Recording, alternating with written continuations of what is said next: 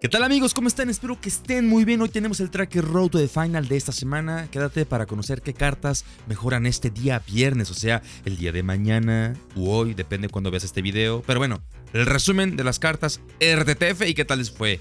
Vamos a ello. Mis amigos, las monedas más baratas del mercado están a un solo clic de tu alcance. Busca el link en la descripción y accede a ellas de manera instantánea. Además, usando el código de descuento CGW, obtendrás ahora un 6% de descuento. Ya lo sabes, Use Buy, la mejor página para comprar monedas. Comenzamos rápidamente con Boscagli, pasará a tener media 88. Por cierto, ayer muchas personas en el video anterior me dijeron que estaban mal las medias ya que eh, los 86 suben 88. La verdad es que esto es una regla que no había yo visto, sinceramente.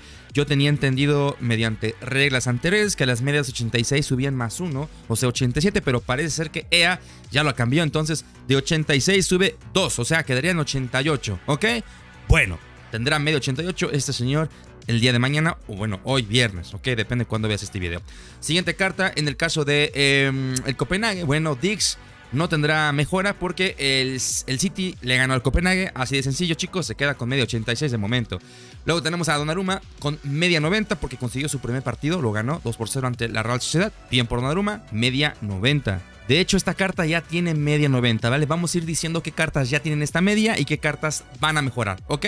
En el caso, por ejemplo, de Gabriel Jesús, bueno, perdieron su partido ante el Porto. Con esta derrota se queda de momento en media 90. Vamos a ver qué pasa en la próxima semana. En el caso de Galeno será media 88 el día viernes, ya que consiguieron su victoria ante el Arsenal. Jiménez se queda con media 87 porque perdieron su primer partido. Gendouzi ya es media 88 porque consiguieron la victoria ante el Bayern Múnich en su primer partido. Bardiol también ya es media 88 por lograr su primer victoria en octavos de final. Lamentablemente Kimmich no recibirá ninguna mejora de momento porque perdieron su primer partido media 90 para Kimmich. Vamos a ver qué pasa en la vuelta. Tony Cross ya es media 91 por su primer victoria. Lautaro Martínez tiene una mejora pendiente de 91 porque consiguieron su primer victoria ante el Atlético de Madrid. Bien. En el caso de Merino se queda de momento con media 87 ya que perdieron su primer partido. Pedri tiene su mejora de 91 pendiente ya que empataron con el Napoli. De igual manera Zule tiene su mejora pendiente 89 porque empataron su partido contra el PSV. Xavi Simon se queda con media 87 de momento porque no consiguieron ni empatar ni ganar el primer partido. Sambo Anguisa tiene pendiente su mejora 88 por el empate. Pasamos rápidamente con Ansu Fati del Brighton, que bueno, ellos ya estaban clasificados a octavos,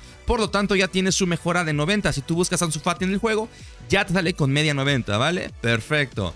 Siguiente carta, chicos, tenemos aquí a Cuates que bueno, eh, quedaron 1 por 3, luego 1 por 1 y bueno, el global les da la ventaja, por eso clasifican a octavos y eso significa que será medio 89 eh, este viernes, ¿vale? Tiene esa mejora pendiente. Chicos, cuates, media 89 ya está en la bolsa, ¿listo?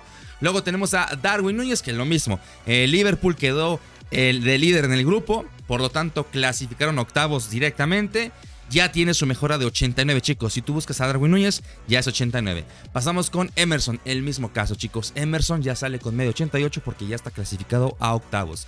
Pasamos con Leo del AC Milan.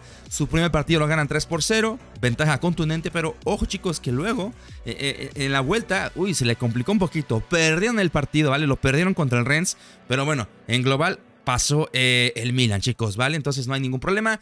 Tendrá media 92, chicos. Su mejora pendiente de 92 eh, ocurrirá viernes, el viernes, ¿vale, chicos? Luego tenemos a Lukaku uno por uno y luego otra vez uno por uno, pero en penales, en penales quedaron 4 a 2, llevándose el marcador la Roma. Por lo tanto, Lukaku ya está clasificado a octavos y tendrá su media de 90, ¿ok?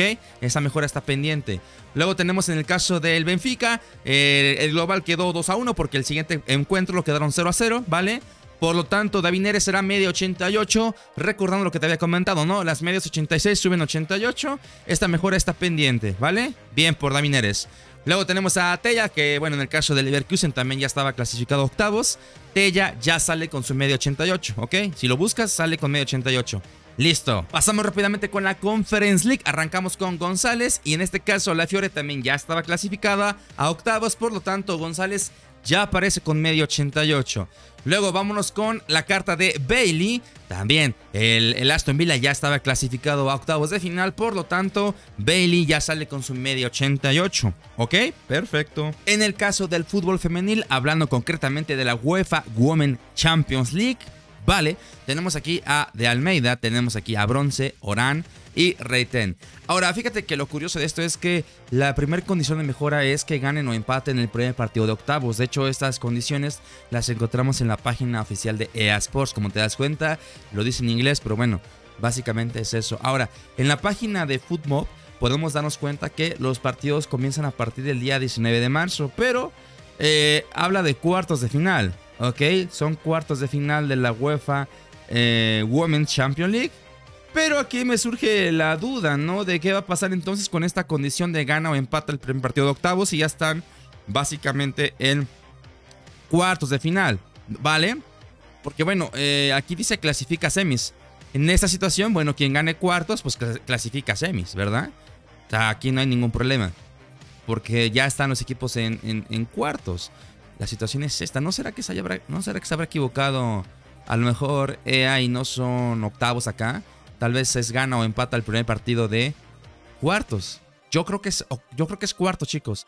Entonces ahí como que me hace un poquito de ruido. Pero bueno, de momento no hay ninguna mejora para estas cartas, ¿ok? Nada más dejándolo claro. De hecho, también en Footbin no tenemos nada estipulado, no hay nada marcado. Entonces vamos a esperar a los partidos de la UEFA Women's Champions League. Vientos. Y bueno amigos, llegamos al final del tracker completo de esta semana, los Road to the Final. Espero que te haya gustado y espero que te haya dejado un poquito más claro la información y ver cómo estas cartas están mejorando, ¿ok? Yo me despido, muchas gracias, no olvides, no olvides dejar tu like, suscribirte al canal y comentar aquí abajo qué te pareció el video. Muchísimas gracias, nos vemos mañana en el evento en directo, claro que sí. Adiósito.